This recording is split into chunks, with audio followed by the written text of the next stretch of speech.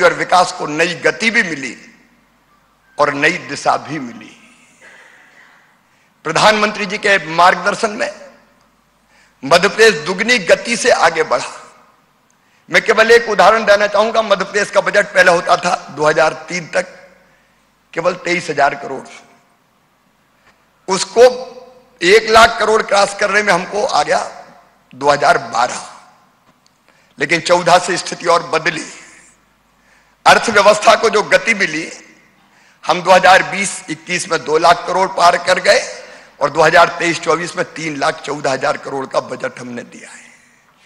प्रधानमंत्री जी ने आह्वान किया फाइव ट्रिलियन डॉलर की इकोनॉमी देश को बनाना है। मध्य प्रदेश ने तय किया 550 बिलियन डॉलर की इकोनॉमी हम मध्य प्रदेश को बनाएँगे। उस पर हमने तेज़ी से काम किया। प्रधानमंत्री जी ने मध्य प्रदेश की प्रगति और विकास में सहयोग करने में कोई कसर नहीं छोड़ी। और इसलिए मध्य प्रदेश को मिलने वाली सहायता, मैं केवल आवास के उदाहरण दू। तो पिछले वर्षों में कभी दो या तीन, एक, दो आवास किसी पंचायत को मिलते थे। अब एवरेज 122 123 आवास पंचायत को मिलने लगे। महिला सशक्तिकरण के नए दौर का प्रारंभ हुआ। और आज आज़ादी के अमृतकाल में हमारा संकल्प है। अभी पर कैपिटल इनकम आपने देखी, एक लाख चालीस हज़ार हुई, हम उससे संतुष्ट नहीं है। पहले तो केवल ग्यारह हज़ार थी। अब ग्रोथ रेट अगर देखेंगे तो पहले नकारात्मक हुआ करती थी। बिफोर लास्ट ईयर हमारी थी 19 परसेंट और इस साल 16 परसेंट के ऊपर। लेकिन हम इससे संतुष्ट नहीं हैं। आज़ादी के अमृतकाल में दो तक माननीय प्रधानमंत्री जी ने जो देश को दुनिया का सबसे समृद्ध, वैभवशाली, गौरवशाली, संपन्न और शक्तिशाली राष्ट्र बनाने का संकल्प लिया है, उसको पूरा करने में मध्य प्रदेश कोई कसर नहीं छोड़ेगा और हम मध्य प्रदेश को अपने देश का सबसे अग्रणी राज्य बनाकर चैन की सांस लेंगे। आज चूँकि माननीय अमित जी हमारे बीच आए हैं, हम सौभाग्यशाली हैं वो हमारा नेतृत्व कर रहे हैं।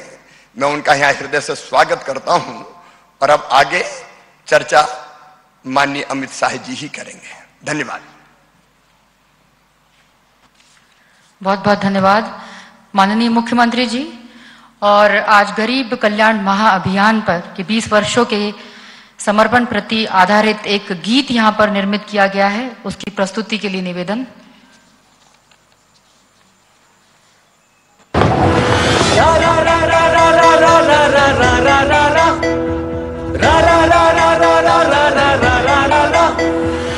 हम अंत्योदय के सपने अपनी आँखों में पाले हैं।